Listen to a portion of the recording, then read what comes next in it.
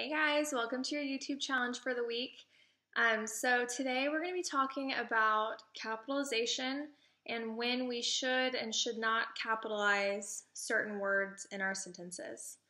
Um, so we're going to read the Mega Deluxe Capitalization Machine. And it's going to talk about all the different rules um, that we use when using capitalization. The day of the science fair was finally here, and Cindy Cadoodle was ready. You see, she'd invented a great gadget and couldn't wait to show it off.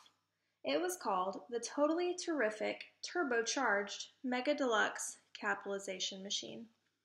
So here's her machine at the science fair. How does that contraption work? Bonnie Brickle asked. Allow me to demonstrate, said Cindy. She wrote Bonnie's name on a piece of paper. That's wrong. You made it all lowercase, exclaimed Bonnie. So we have her name right here, and it's all in lowercase, and we know that is not how we write people's names. Just watch, responded Cindy. With that, she fed the paper into her invention.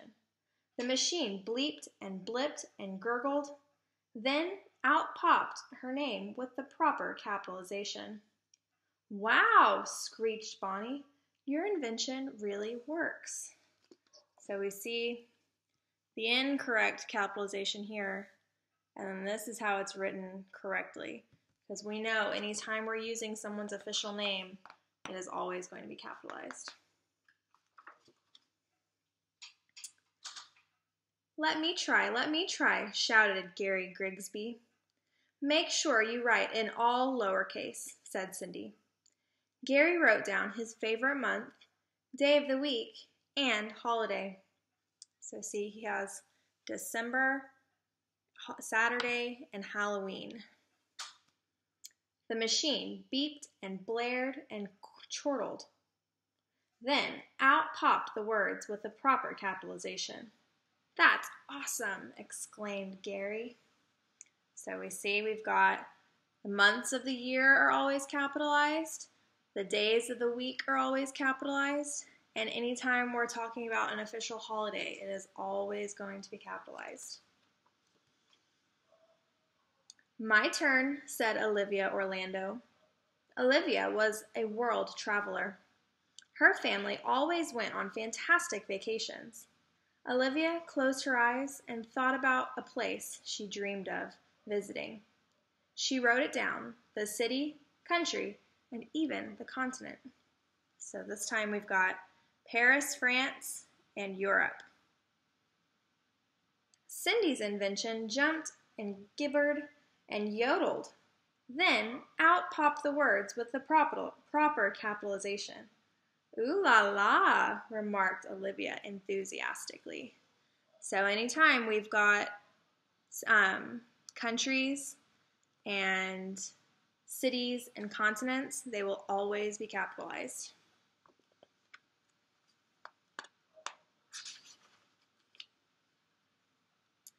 Now it was Henry Hilbert's turn. Henry loved history. It was his favorite subject. He wrote down three fascinating historical events. He wrote down the Boston Tea Party, the Civil War, and the Renaissance. The machine sniffed and snorted and crackled, then popped the words with the proper capitalization. Simply sensational, stated Henry. So we have our next rule is any important historical events like the Boston Tea Party and the Civil War um, we will always begin those with a capital letter.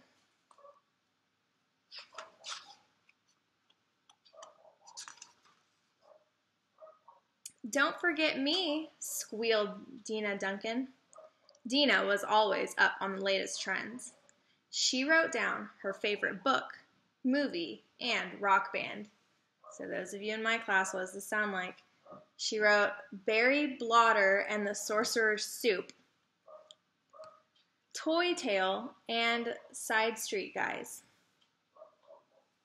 The invention rocked and rattled and clattered. Then out popped the words with the proper capitalization. Utterly fabulous, declared Dina. By the way, that's the newest way to say great. So if you look now, we've got the names of books, movies, and rock bands should always be capitalized.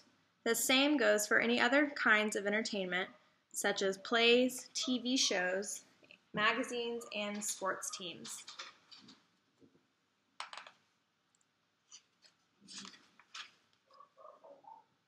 Freddie Farber loved ice cream. He also loved cookies, popcorn, lollipops, potato chips, beef jerky, soda, and bubblegum.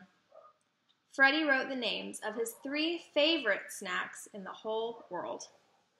So he wrote Burpee Soda, Chipperoos, and Sven and Larry's Triple Mint Chip Kiwi Swirls. The machine gulped and gobbled and burped.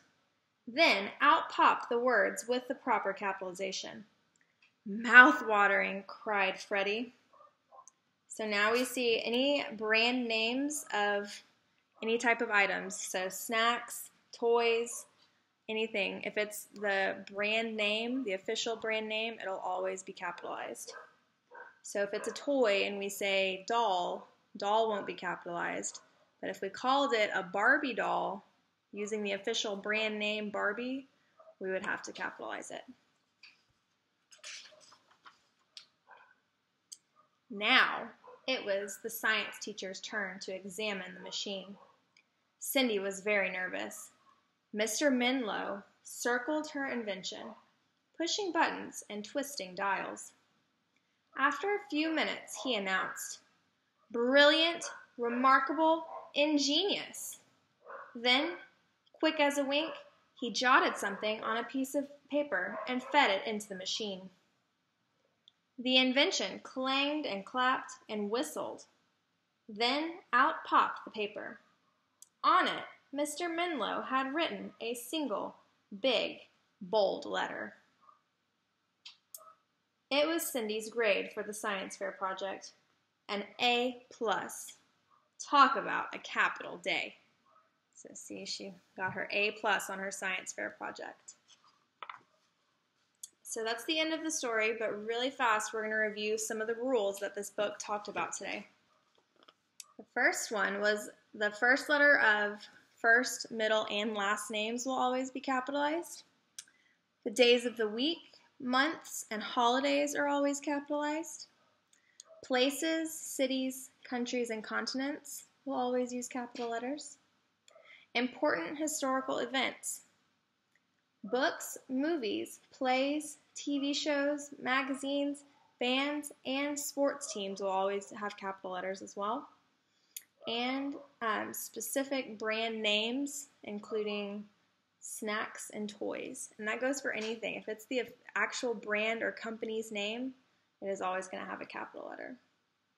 So here are some of the rules I'm going to show you guys really fast